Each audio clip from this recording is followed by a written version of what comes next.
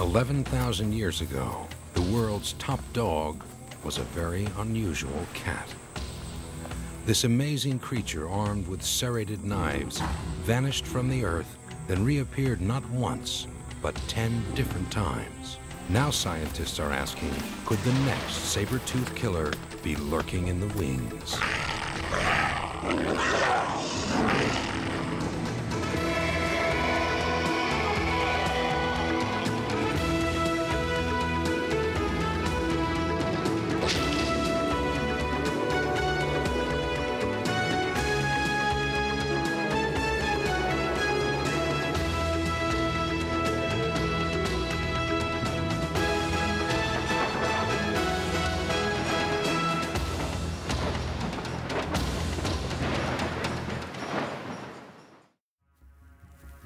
In Africa, a cat with a rage to kill is an awesome sight.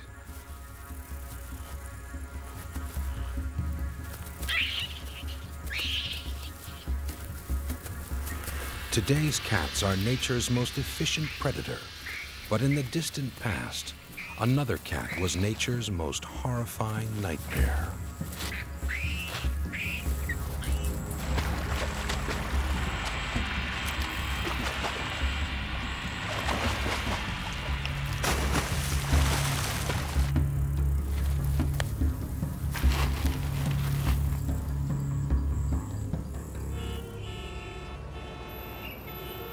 A few miles from Hollywood's dream factories, in the heart of downtown Los Angeles, is what looks like a scene from a science fiction movie. Here, tar and methane ooze up from deep within the earth, forming pools of bubbling asphalt. Known locally as the La Brea Tar Pits, they are the relic of a prehistoric world. Preserved in this sticky mire are the remains of thousands of giant beasts, ground sloths, mammoths, bison, and wolves who prowled this urban jungle during the last ice age. But the most famous was a cat with a saber tooth. After nearly a century of digging, more than a million bones have been unearthed that tell a grisly tale.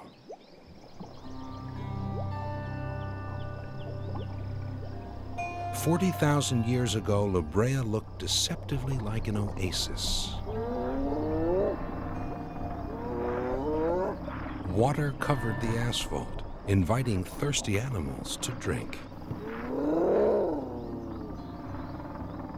But as they neared the shore, they were trapped like flies on flypaper.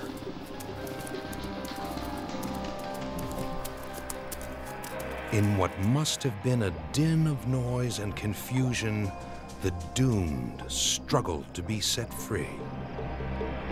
Exhausted after what may have been hours, even days, they slowly began to sink into their tarry graves. Tempted by the prospect of an easy meal, the saber-toothed cats were quick to pounce on their dying prey.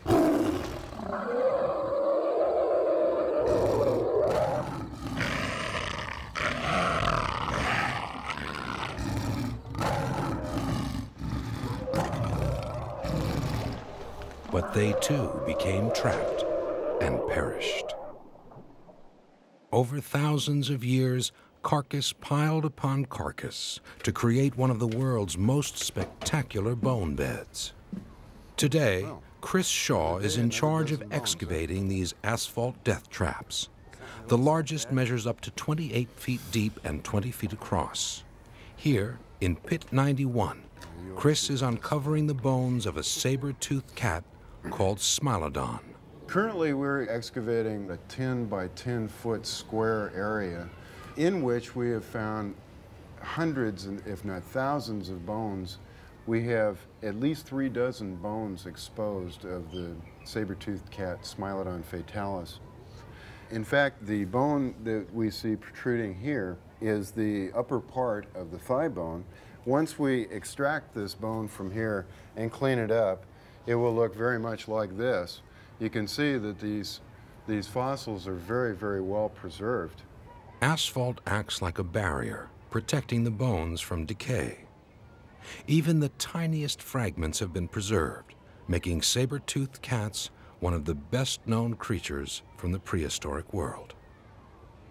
Saber-toothed cats are the second most common large vertebrate from Rancho La Brea, and we have in our collections alone over 166,000 items of saber-toothed cats. This creature, a distant relative of modern cats, roamed what are now the streets of Los Angeles and shared the earth with humans. The size of an African lion, it weighed about 300 pounds popularly referred to as a saber-toothed tiger, its name is misleading. Tigers live in jungles and have stripes. Smilodon hunted in the brush on the edge of a forest. Like the jaguars in South America, their coats were probably spotted to blend in with the dappled light filtering through the trees. There, in perfect cover, they waited.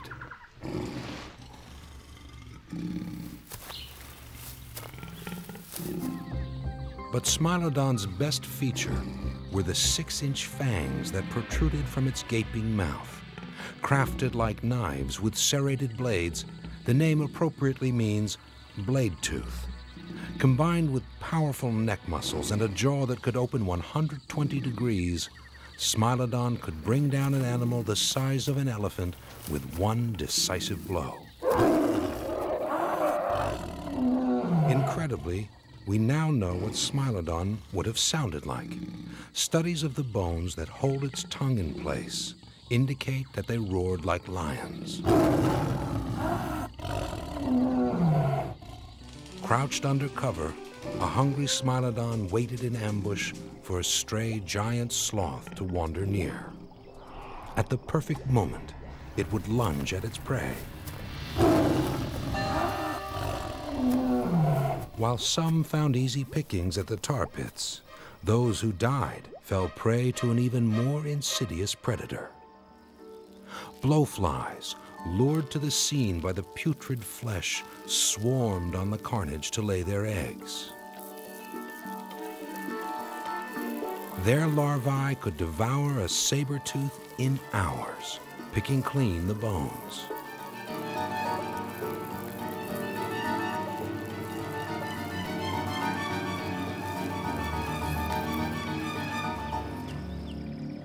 Smilodon disappeared beneath the asphalt of the La Brea tar pits 11,000 years ago. But if one scientist is right, we may not have seen the last of the saber-toothed cats.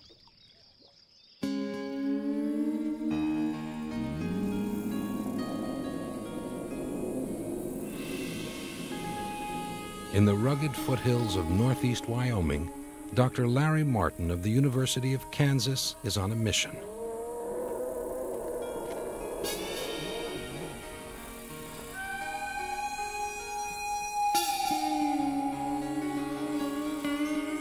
He's here to hunt down one of the oldest saber-tooths known, an unusual cat called Eusmilus that lived 38 million years ago.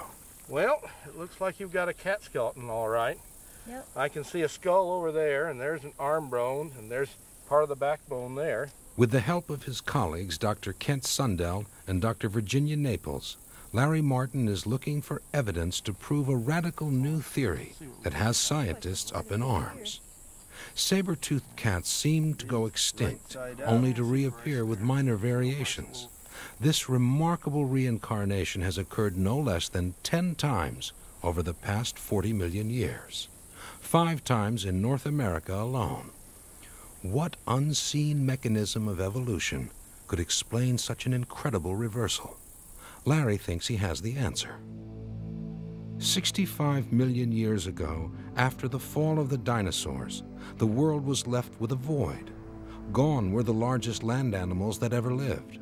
A few experimental predators came and went, but not until the arrival of the saber-tooths had nature perfected a new and even more efficient killer. One of the first was small, but it was breathtaking. Eusmilus is one of the most amazing creatures ever uncovered. Only the size of a domestic cat, it could bring down an animal five times larger. Well, here's an animal the size of a house cat that could probably kill a deer. You know, here, here a little animal like this, it has a tooth that's longer than the canine of a lion. Eusmilus was literally armed to the teeth. But in a few million years, the cats and their canines would get bigger and bigger. What would happen, you start out with a small cat, and it'd get big saber-like teeth, and that'd permit it to kill larger prey. When it could kill larger prey, it got bigger with even larger teeth, so it could kill even larger prey. And so they just continuously got large until they got big like this. Larry links the appearance of each new line of saber tooths directly to the size and abundance of its prey. The larger the prey, the larger the cat. As large prey disappeared, the cats went with them. But as new kinds of animals evolved, new saber tooths evolved to prey on them. Saber-toothed cats are embedded in a pattern of extinction and re-evolution. At the time that they became extinct, about 55% of all the different kinds of large animals would become extinct. And then the whole system, the community, would re-evolve itself, and the saber-toothed cats would come back again. Nature is a marvel of ingenuity, but it rarely reinvents the wheel. For 40 million years, some variation on the cats came back to haunt the prehistoric world. If it is true that form follows function, then the cheetah is a natural-born killer. Superbly adapted to chase their prey, they've been clocked at an astonishing 60 miles an hour. But modern cats are strikingly different from their ancient predecessors.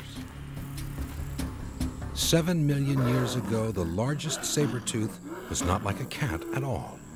Barbourofelis was built more like a bear, could rear up to six feet, and weighed in at a staggering quarter of a ton. Although it was slow on its feet, its nine-inch long canines made it a killer to be reckoned with. Well, it's useful to kill as large a prey species as you can, and because of their unusually big teeth, saber-toothed cats could kill animals with body sizes much bigger than you would otherwise expect. And that they did this because they have such a wonderful killing machine. They have this knife-like saber here. Now, the idea that this is a saber-toothed cat, you know, that's really incorrect. It's not like a saber at all because the cutting edge is on the inside of the curvature of the blade. What it really is is an Arabian curved knife, and I have one of these right here, and we can just compare it. The way these knives are used, they really have a stroke very much like a saber-toothed cat might have had, something like that. These deadly knives were serrated for maximum damage. Combined with powerful teeth at the back of its jaws, it could quickly and efficiently tear its victim to pieces. A solitary predator, Barbourofelis had to be fast. Cunning pack animals like wolves and coyotes drove hunters off their kills, much like modern hyenas scare off cheetahs. Larry Martin suspects Barbourofelis was all brawn and no brains.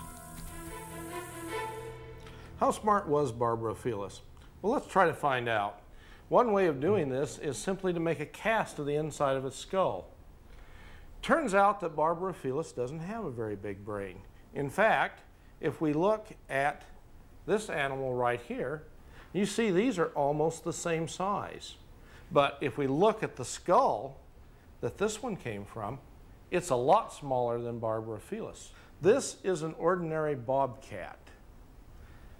Barbourofelis, with its much smaller brain in comparison to its body size, can reasonably be expected to be a lot dumber than this bobcat right here. In fact, Barbourofelis has one of the smallest brains for its body size of any animal that we know about.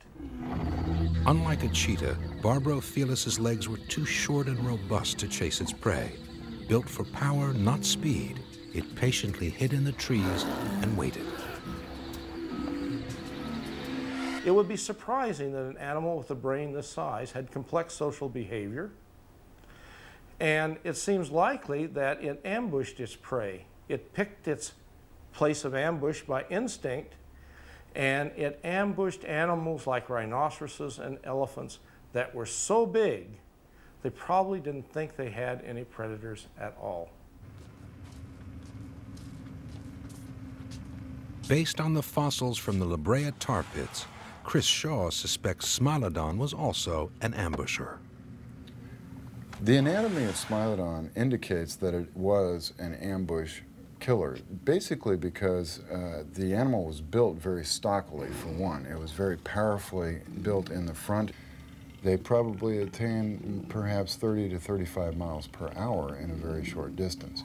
But the tail is short, and long tails in cats are built for turning corners quickly, and these were just not capable of doing that.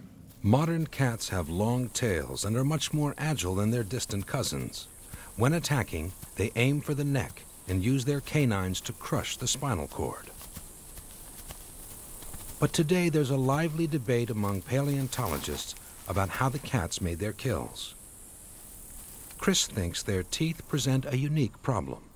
The shape, size, and length of these sabers uh, could render it to be a very delicate type of instrument, especially going in a very hard, bony part of the neck area. If the saber got caught in between two of the vertebrae and the animal being attacked was struggling to get away, the saber could be easily snapped off. And a saber tooth without a saber is uh, not a very effective predator anymore. It's my thought that these animals attacked rather than the neck area where there were lots of bones, but the soft underbelly of large animals, tearing out a huge chunk of flesh and allowing the animal then to bleed to death, and then coming back and feeding at leisure. Based on his studies of Barbourofelis, Larry Martin has come to a very different conclusion about the killing techniques of the saber-tooths. You could kill an animal by biting its stomach. The problem is that you have to get the stomach in your mouth to bite it. The lower jaw gets in the way. The stomach of a rhinoceros or an elephant would be too flat to get in its mouth. And that's why I think it's more likely that these animals attack the throat. Now, I have here a cross section of a teleoceras, an extinct rhinoceros that lived with Barbourofelis. I think this is the animal Barbourofelis probably had for lunch. And what it would do is it bend the throat around until it was exposed, and then it would stab into the side of the throat like this. You'll notice it doesn't encounter any bone, and this curvature that's hard to explain otherwise causes it to cut a corner out of the throat like that. And in so doing, it cuts these blood vessels and these are the blood vessels that supply the brain. And it means the animal dies in about 30 seconds. It's a wonderful killing mechanism. Unlike Barbourofelis, who was a solitary hunter, Chris Shaw has found evidence that Smilodon may have lived in groups, like African lions do today. Female lions hunt and share their kills with the other members of the group. They also take turns rearing and nurturing their cubs. But Smilodon may have gone lions one better. They may have nursed and cared for each other. This is an example of a Smilodon lower back that has been horribly injured, as opposed to a healthy one. This animal was so horribly crippled that it could not have fed itself or, or provided for itself. And this is an excellent example of why I believe that these animals did have a social structure. This did not die because of this injury. This animal survived through protection by the group from other predators and also through nurturing or the ability to go and feed at the group's kills.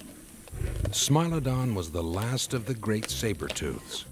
From a mindless killing machine to a cunning and sophisticated predator, the cats had taken a giant leap into the future. But their 40 million year reign was about to come to an end. Poised to take center stage was the most ruthless predator nature ever devised. 11,000 years ago, as the last ice age ended, the Earth underwent a dramatic change. An ice sheet, a mile thick, that covered much of the northern hemisphere, began to melt and the climate began to change.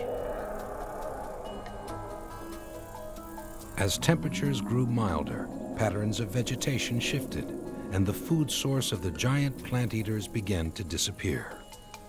The saber-tooths had undergone millions of years of adaptation and evolution to become sophisticated killers. Now, in the twilight years of the plant eaters, the cats once again faced extinction. For Larry Martin, overspecialization is a house of cards. Here we have seven million years of evolution. They started out small, they always do, but then they became progressively larger. As they became larger, they had to catch larger and larger prey species. In the end, they wound up with rhinoceroses and elephants. This was okay. In fact, it's a very lucrative niche. But if your prey species happens to become extinct, and these rhinoceroses and elephants did, then you're forced to catch faster and more agile prey, and these animals couldn't so they became extinct too. In a sense, the thing that made them successful in the end caused their failure. To be the biggest and the best is a high risk strategy. The more specialized an animal is, the more unable it is to adapt to rapidly changing conditions.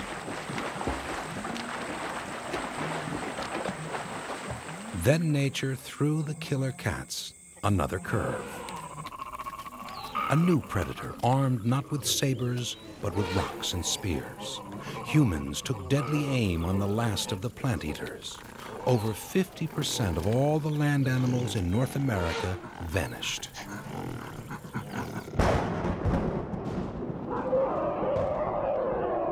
Their disappearance spelled the doom of the saber-toothed cats.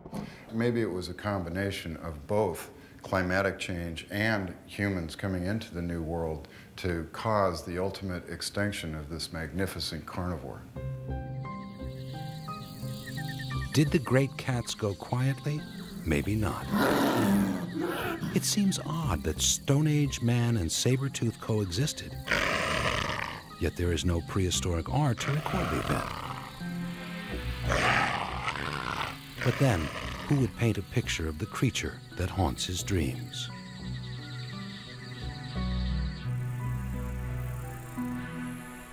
And what is more frightening, we may not have seen the last of the killer cats. Saber-toothed cats have evolved time and time again. Being a saber-toothed cat must have been a wonderful occupation, but it was also high risk. They kept becoming extinct. But after they became extinct, they'd evolve right back again. In a sense, extinction was not forever. Today, the clouded leopard of Southeast Asia is a jaguar-sized killer with the longest canines alive. Perhaps, somewhere in the world, the next saber-toothed cat is lurking in the shadows, waiting for his next meal.